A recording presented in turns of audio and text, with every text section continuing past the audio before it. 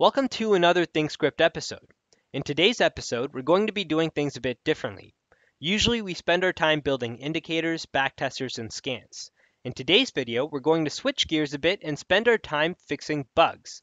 And instead of just talking about it, we're going to actually solve a real bug that we have inside of the seasonal analysis indicator. Now, a special shout out to Jason, who found this bug in the first place. It's definitely more of an edge case scenario sort of bug, but it's one that should be fixed, and we're going to go ahead and do so in today's video. Now, here's what the bug actually is. The label for the current month will plot the value infinity as your average return, and this tends to depend based on what day of month it is. If you're more towards the beginning of the month, so let's say the beginning of November, you most likely won't find this bug actually happen. However, as the month actually progresses, if you're now looking at this, say towards the end of the month, it's currently November 24th, so here on out, you'll find places in which the label value returns infinity, and this tends to happen only in a very select few areas, so it's definitely an edge case bug, but it's one that occurs, so let's go ahead and fix it. Now, here's an example for those looking to try and understand what this looks like. This is inside of Expedia, and this was an example today. The label for November is plotting as infinity for our average change in the month of November over the past five years. Now that's of course not possible, it can't be infinity, but the fact that the value is infinity is already your first hint that this is most likely being caused by a division by zero error. So we'll use the chart bubbles tool really as our main tool to try and find where this issue may be stemming from, and then how we can go ahead and actually fix that issue. Now, for those of you that would both like to follow along or just download the final version of this indicator with the fix already in play, you can do so on our URL, tosindicators.com slash indicator slash season hyphen analysis.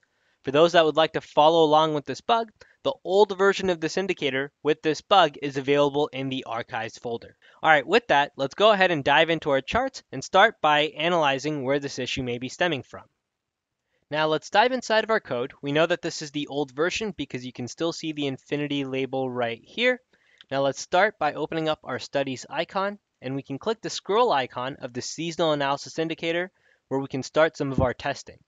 Now I'll scroll down to the November section.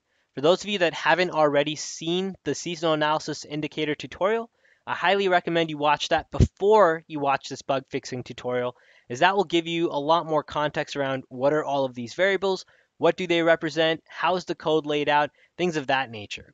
In this tutorial, our goal is to simply fix this bug. Now, we can start here by seeing what our label code actually is like, and that's, I think, a good starting point.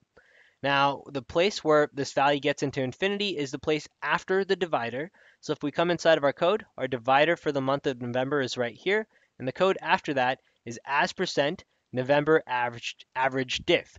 And so we know this is really our good starting point. This is the value that's going into infinity mode. So let's take a look and see where that happens.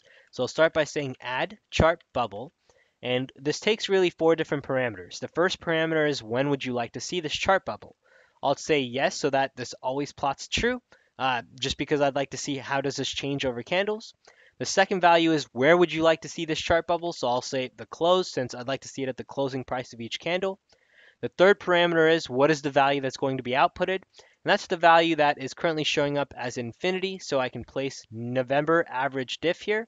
And then finally, it's the color, which I'll set to color.yellow. The color doesn't really matter, but this is the layout I'm going to start with. I'll click apply.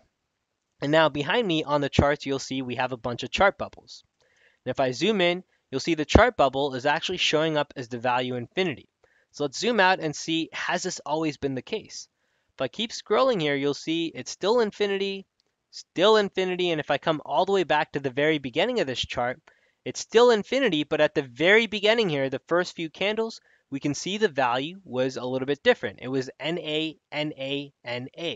So that's a little bit of a hint here. For everywhere else, our chart bubbles are infinity, but the first three candles here, that's NA. If we take a look at what date that very first candle is as well, that's November 25th, 2016. That means that this is not the beginning of the month, which is the value that we would typically be looking for or needing in order to see what was the total change for that month. So that's our first little hint is using just these chart bubbles, we're able to find out that the first three candles are different. Now let's come back inside of our code. We'll scroll all the way down back to the chart bubble code right here. and we can continue testing and narrowing down what may be causing this issue. Now, we know that this is our label or our variable, excuse me, where the issue stems from. Let's break that down some more. That's right here, and that takes two other variables inside of it. The total sum of our November diff and then the total November count.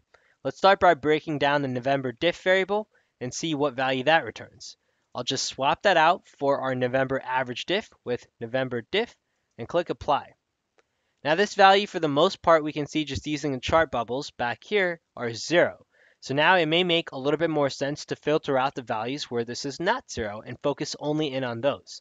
To do so, I can copy this code and instead of saying yes, plot this bubble all the time, I'll say plot this bubble only when this value is true or let's say greater than zero. That's what it needs to actually happen. And so now this means that we'd like to see this bubble only when this value is greater than zero or true, one of those two.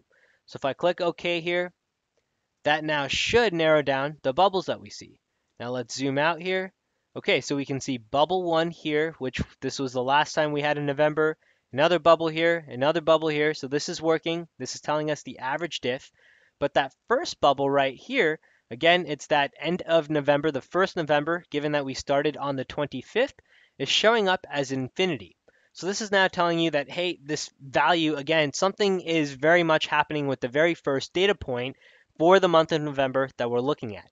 That's where we need to go uh, trying to resolve this issue. So we can click the scroll icon one more time, come right back inside of our code. We come inside of November, and let's continue breaking down this variable. Now inside of November diff, we see that, hey, if this is currently uh, the new month, the last day of November, then this is the value or the variables we need. We're going to take the closing price of November and we're going to subtract that from the opening price of November and we're going to divide that by the opening price. Now, if you remember, one of the hints we had in the intro was that this is most likely caused by a division by zero error. Now, if that were true, then that means November open at some period here is equal to zero. That would mean that's our division by zero error. So now if we come in and start by testing out November open into our code here first. So I'll say plot this code every time there's a November diff, but for the value, plot the value of November open. We'll click apply, click OK, and see what happens here. Our value for November open is set to zero. That's not what we would expect. We would want this to be the very first value for that month of November. And if it can't find that value, which in this case it doesn't have access to it, we've gone back the full max five years, well then don't include this inside the overall calculation for this label. If I keep scrolling forward here, we should see that at some point this label plots the value that we would expect. Let me actually zoom out. I'll make it a lot easier. So you can see that these bubbles do plot a value other than zero. It's just this first one where we're plotting zero, which is causing this division error. So let's try and fix that now. Before we do that, let's make sure that the closing value of that candle also does not have any issues associated with it. And it shouldn't, since we should, for the most part, have the closing value, given that we're looking forward here. So if I say November close, we click apply, we can see that the close value is still here of 124.05, which is the closing value for the month of November, since that happened after these candles. So now we know that our error is stemming from November open, and we need to somehow create a value or a fix, something of that sort, which allows for us to ignore that entire month of November if the November open value is equal to zero for that particular month. So that's our fix. Now that we know that, we can go ahead and delete this code right here, and we can start by seeing where we will need to add that fix. Now, we know that it's the November open value that we need to solve for, which is called inside of average diff.